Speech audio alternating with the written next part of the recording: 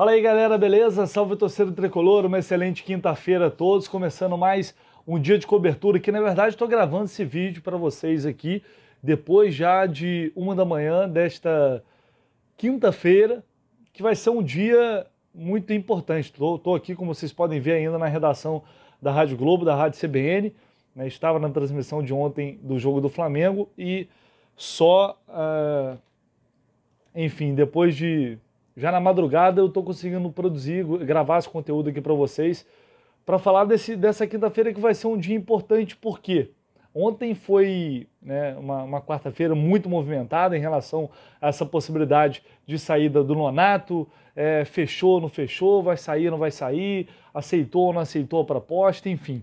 Né, foi um dia bastante agitado, como vocês puderam perceber.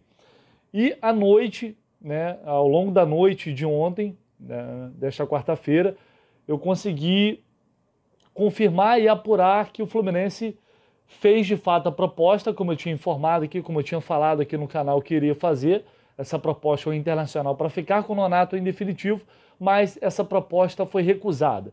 E neste vídeo aqui eu vou trazer aqui os próximos passos do que deve acontecer hoje, ao longo do dia, e também é, dar a minha opinião sobre, sobre essa negociação, sobre essa possível compra do Nonato, coisa que eu ainda não fiz, estou né, é, é, correndo atrás desde ontem de informação e passando essas informações para vocês, mas enfim, vou passar minha visão sobre essa situação também e evidentemente quero ouvir a opinião de vocês. Então deixa o like neste vídeo, já chega se inscrevendo no canal se você não está inscrito aqui no canal do Leste, pelo amor de Deus, né, se inscreva, para ajudar aí, me ajudar a bater essa meta de 40 mil inscritos aqui no canal o quanto antes. Espalhe para todo mundo que você conhece aí e ative as notificações. Se você já é inscrito, ative as notificações porque informação exclusiva tem quase que todo dia aqui no canal. Você sabe que a informação chega primeiro aqui no canal do Lessa. Então conto com vocês todos os dias aqui contribuindo com a audiência e trocando essa ideia, tá bom? Vamos lá. É... Primeiro aos fatos, né, as informações. Ontem o Fluminense fez de fato a proposta como eu havia adiantado aqui para vocês, queria fazer ao Internacional, é, de 1 milhão e 700 mil dólares para ficar com o Nonato em definitivo. Uma proposta que igualou a oferta feita pelo Ludogorets, lá da Bulgária. Isso em valores fixos, tá, gente? Por que eu estou falando isso? Porque o clube búlgaro também ofereceu um bônus de 600 mil dólares, que aí faria o negócio, se esses bônus fossem, forem batidos, o negócio saltaria para 2 milhões e 300 mil dólares. Né? Algo muito próximo ali praticamente da, da, multa, da multa, não, da, do valor estipulado na opção de compra que o Fluminense tinha de 2 milhões e meio de dólares. O grande diferencial aí, como eu expliquei para vocês ontem, é que o Ludo Goretz, ele quer ele quer o jogador e oferece grande parte desse valor à vista, em cash. Já o Fluminense quer parcelar, porque não tem condições, evidentemente, de pagar né, um montante à vista agora. Então teria que parcelar esse valor. E o Fluminense também não ofereceu é, esse bônus de 600 mil dólares. E aí a proposta foi considerada muito baixa pelo Internacional, que rechaçou completamente a informação que eu recebi conversando com pessoas de confiança lá, de colegas que cobrem o, o Internacional, que são muito competentes a informação que eu recebi foi sob esses aspectos, com esses números aqui, chance zero do negócio sair. Foi, foi, assim, foi bem taxativo a diretoria do Internacional.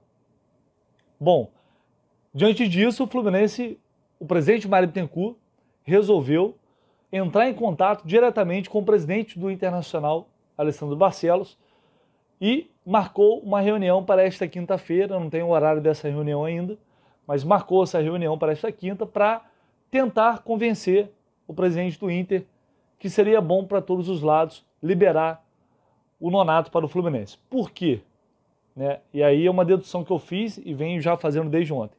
Nonato quer ficar no Fluminense, deseja permanecer no clube, apesar de que financeiramente a proposta do Ludo Goretz ela tenha sido bastante vantajosa para ele também, afinal ele ia receber em dólar, mas ainda assim a preferência dele seria continuar no Fluminense, porque ele gosta do clube, gosta do projeto, está curtindo muito trabalhar com o Diniz, enfim, ele queria ficar.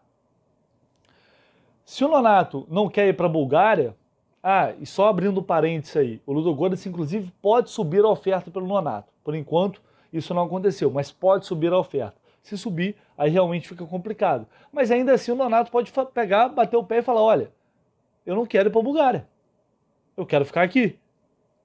Aí o Inter tem duas opções: ou vende para o Fluminense e garante agora um bom valor, porque quase 9 milhões de reais pelo Nonato é um bom valor, na minha opinião, e não corre risco de depois ter o cara de volta, porque o Nonato não quer voltar para o Internacional. Ele não quer, ele não quer ir para a Bulgária, mas ele não quer mais ainda voltar para o Internacional. Isso é fato, tá? Que eu apurei pelo menos. Então, o Nonato não quer de jeito nenhum voltar para o Inter. Então, você vai receber um jogador que depois você vai acabar escanteando, tendo que emprestar de novo e você não, o futuro muito certo. Será que o Nonato vai conseguir se destacar depois em outro clube? Enfim, estou fazendo aqui suposições, tá? Para que vocês possam entender. Então eu acho que esse vai ser um argumento que o presidente Mário Bittencourt vai tentar usar com Alessandro Barcelos, presidente do Inter, né? E talvez, se o staff do jogador realmente estiver alinhado com o próprio jogador, pode intervir nesse sentido também. Então ainda não acabou, né? Havia um otimismo maior, mas assim, essa resposta do Inter taxativa, como foi negativamente falando, é, meio que deu ali uma esfriada na situação, mas enfim, essa reunião pode determinar ainda hoje o futuro dessa negociação. Por quê? Isso tem que ser definido. É, o Ludogorets ele tem até o dia 6, ou seja, terça-feira da semana que vem, para, se, se em caso do Nonato aceitar a proposta, ele tem que. Ele nem joga mais pelo Fluminense. Né? Ele tem que imediatamente viajar para assinar contrato e, e estar à disposição antes do encerramento das janelas de transferências lá na Bulgária, que é no dia 6. Então, esse é um, é um passo importante para a gente entender. Por isso, eu acho que hoje a gente vai ter uma definição em relação a isso. E aí, o que eu. Essas são as informações. Eu acho que eu não esqueci nada, são as principais informações em relação a essa negociação. O que eu penso sobre isso? Aí é opinião, tá?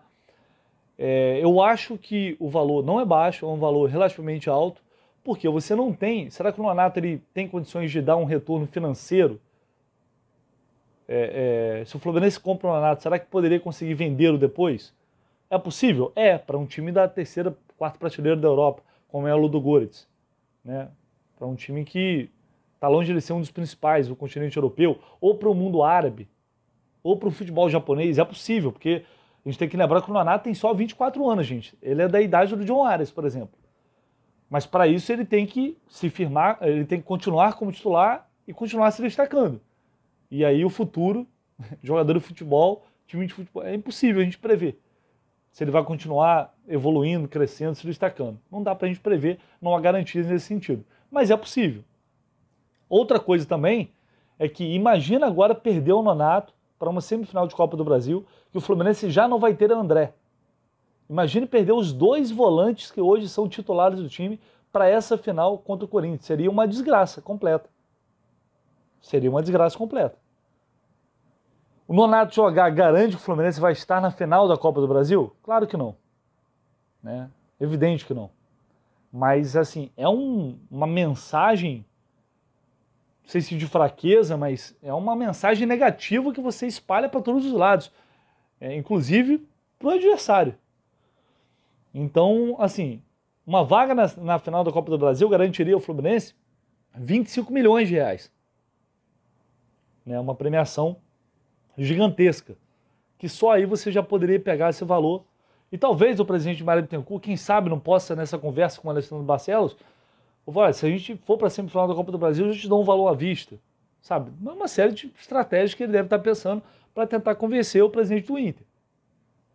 Então, só aí, só por isso, essa vaga na Copa do Brasil, na final, já seria primordial, fundamental, até pensando nessa permanência do Nonato. Então, assim, tem muita coisa em risco. O Nonato é hoje um titular, um jogador importante, é um jogador extra classe? Não é. A gente sabe que não é. Mas se a gente pensar que o Fluminense pagou 9 milhões de reais no Cris Silva, vale muito pagar 8 milhões no Nonato, na minha opinião. Acho que é possível você equacionar esse valor e ficar com um jogador que ainda é jovem e pode te dar um retorno técnico. Se não financeiro, ele vai te dar um retorno técnico Ele tem muito, eu acho que tem margem para evolução ainda, margem de crescimento. Então, é um cara que compõe, é um cara que eu acho que agrega demais, mesmo no elenco melhor. Futuramente, se o Fluminense tiver um, um jogador titular que seja melhor que ele, é um, um, uma opção no banco de reservas que você tem de qualidade. Então, assim, na minha opinião, de, dessa proposta que o Fluminense apresentou, de 1 milhão e 700 mil dólares, eu acho que vale. Principalmente pelo contexto atual, pelo presente. Do que significaria não ter Nonato e André para a semifinal de Copa do Brasil contra o Corinthians. É, é, e acho que ele está muito encaixado no time. O Diniz, como eu disse ontem, pediu a compra do Nonato, ele quer o Nonato no elenco, é, enxerga muito talento no jogador, margem de crescimento, e nas mãos dele ele realmente pode evoluir. Então o Diniz ele teve um papel muito importante nessa decisão do Fluminense em ir atrás para tentar comprar o Nonato. E um aspecto que pesou bastante e pesa também para o próprio jogador. Então, enfim, são, são nuances aí dessa negociação que pode ser encerrada ainda hoje, dependendo do que acontecer. Vou estar atento aqui, trazer informações para vocês, atualizações assim que for possível. Vamos ver o que vai acontecer ao longo do dia, mas é isso, são essas informações e o que eu penso sobre essa, esse negócio do Nonato, essa possível compra dele. Quero ouvir vocês, deixem nos comentários, enchem aí os, os comentários, eu quero ouvir o que vocês têm a dizer sobre isso. Like no vídeo, não se esqueça e se inscreva. Se você não é inscrito aqui no canal do Lessa, se inscreva porque ao longo do dia eu vou voltar com muito mais informações aqui no canal, beleza? Valeu pessoal, tamo junto, um abraço.